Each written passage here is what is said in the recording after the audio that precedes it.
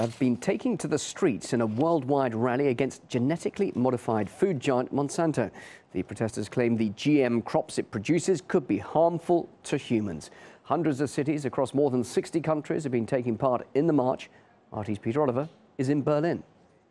Demonstrators all around the world, not just here in Germany, coming out to say no to genetically modified foods. Uh, people saying that they don't know the dangers that it could pose, that they, um, that they, they aren't right for human consumption. To find out why people are demonstrating against GM foods, I'm joined by a few guests right now. First of all, Heidi Osterman, who's the founder of the True Food Foundation. Heidi, thanks very much Uh, Monsanto said that they were pulling out of Europe. Apparently that's not the case though, is it? Well, Peter, it does appear that they're pulling out, but they're just regrouping in North America.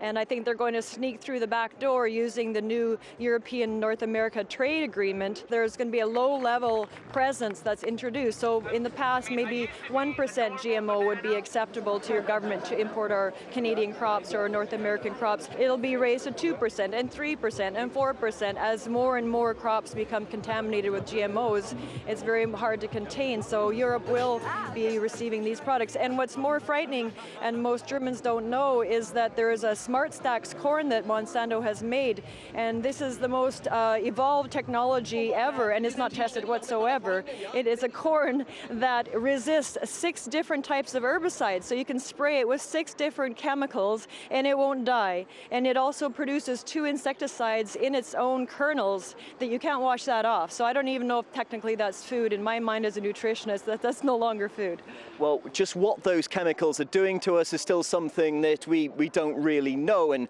I'm joined by another guest now to talk a little bit more about that. I'm joined by uh, Dr. Dieter uh, Witte. Uh, Thank you. That's correct, much. yeah. Um, what could be the potential hazards of GM food?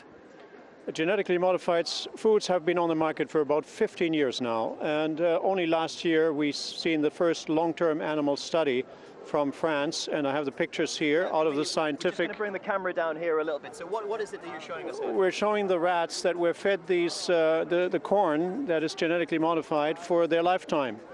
All animal studies until then have been for 90 days only, and usually not much shows in those 90 days, even though there are subtle uh, signs of organ damage even in 90 days. But in two years, uh, the life, life time of a, a rat is shortened. Uh, they have massive organ damage, massive breast tumors in the female rats. And um, humans, the effects will only not show for another 20 years because uh, we have a much longer lifespan than a rat. So if we are waiting for cancer to show as a result of GMOs, we gotta wait. Thank you very much. A huge issue, and what we're seeing here in Berlin as well as around the world is people coming out and saying no to genetically modified foods. But while activists are protesting against the use of potentially harmful chemicals in food production, Monsanto has been saying its products are the only way to feed the world's growing population. RT's Marina Portnaya takes a closer look. In the land of supersize, approximately 85% of all processed foods contain genetically modified organisms.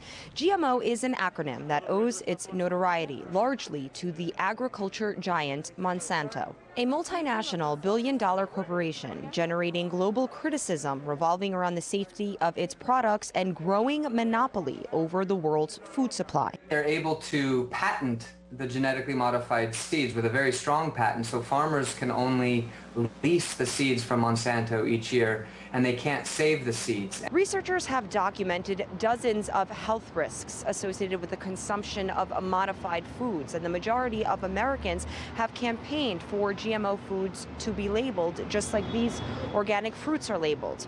But so far, the will of the people has been silenced by the money of Monsanto. According to OpenSecrets.org, the company spent nearly $6 million last year lobbying federal lawmakers and food regulators. The payoff came this year with the passing of the so-called Monsanto Protection Act, a bill that gives biotech companies immunity from lawsuits pertaining to the production and sale of genetically modified seeds. The new reality of the world is that chemical companies are feeding us and our families. It's now sort of laboratory to table rather than farm to table. And in an effort to widen its power and profit, the agriculture giant has recently purchased a corporation which sells climate data to farmers. The price tag of $930 million wasn't a problem for Monsanto, which grossed a reported $13.5 billion in revenue last year. But decades before GMOs and fears about modified foods came along, Monsanto was already in business. It helped bring pesticides, Agent Orange, and Terminator seeds to the market. Agent Orange was used by the U.S. military during the Vietnam War, where it's estimated to have killed hundreds of thousands of people. Its effects are still being felt today. Vietnam says some half a million children have suffered birth defects due to herbicide. Monsanto's current practices have ignited protests around the globe. Millions are taking to the streets demanding that big food comes clean by either labeling genetically engineered products or not selling them at all. Marina Portnaya, RT, New York. And Colin O'Neill, he's from the Center for Food Safety in the US, claims giant corporations like Monsanto pressure governments worldwide to get their products on the market.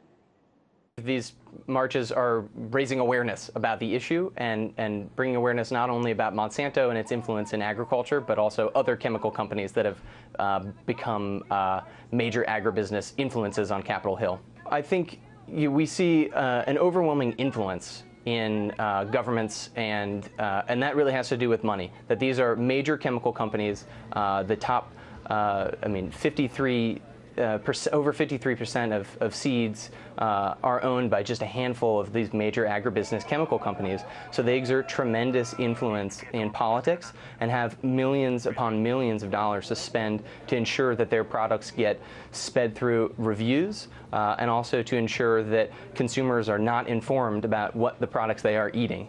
Uh, so, for instance, not labeling genetically engineered foods. And we've got live updates on the global action against Monsanto online at rt.com, where there's also more opinion and analysis waiting for you. This is RT.